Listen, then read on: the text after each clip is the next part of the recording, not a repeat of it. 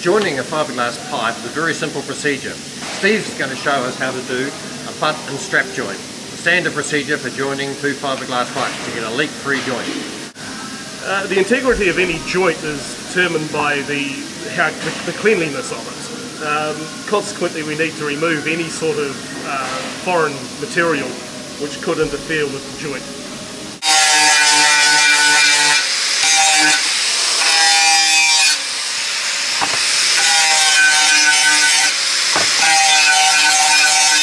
Chamfered this edge here to uh, give somewhere for the filler to go. It makes the jointing easier and stronger.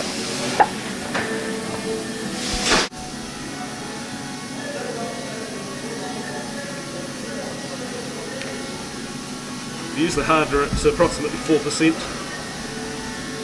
That was 4% at the practice time.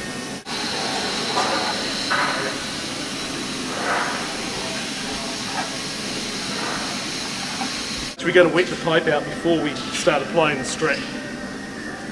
This helps with adhesion and it is essential. Wet our mat out, some resin on the table, offer your mat up to it,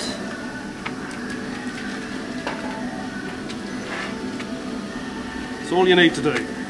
Make sure it's wet. You don't want any dry spots. Now, stagger your mat. If you don't do that, you end up with a, a patch on your joint that has more than the rest of it. And you'll find you get a hot spot, which can cause a fracture. This eliminates most of the air before we offer it up to the pipe.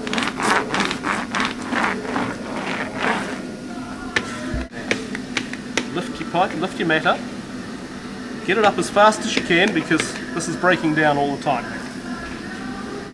Find the centre. Just roll,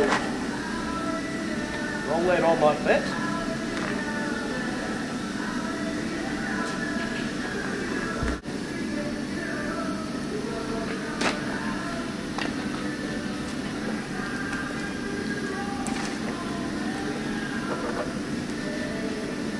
At this stage, try to roll all the air out.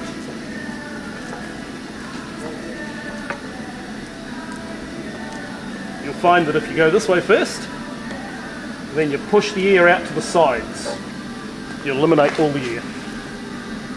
Come down underneath,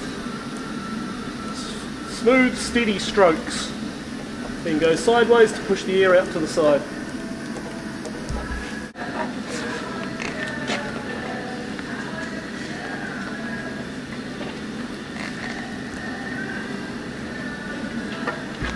Five mats worth of strapping. Same process again. Wet the table, wet your mat. Push it ahead with your with your brush. Once again, stagger your mat.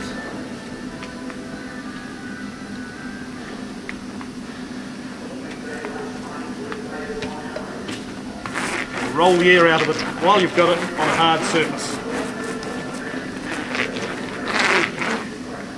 Pull it up. Now, when you offer this to the pipe now, start in a different place to where you did last time. Last time I started up here, now I'll take it down a little. That eliminates any build-up.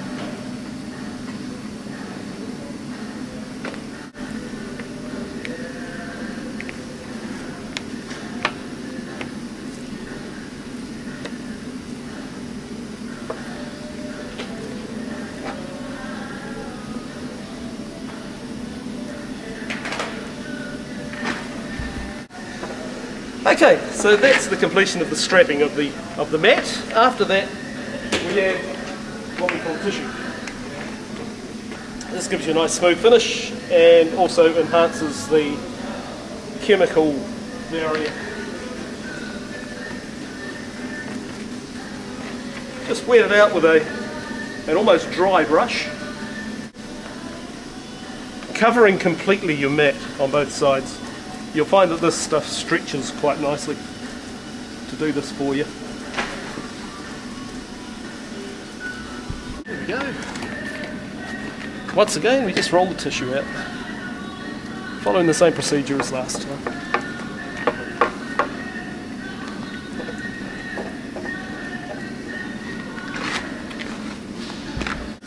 Here we have a finished product. Um, this should be stronger than the original pipe because we've got the strapping around it. Uh, all that we need to do now is wait for it to fully cure. Then we can sand it back slightly and apply either a hot coat or a wax coated finish to it. And that's the completion of the job.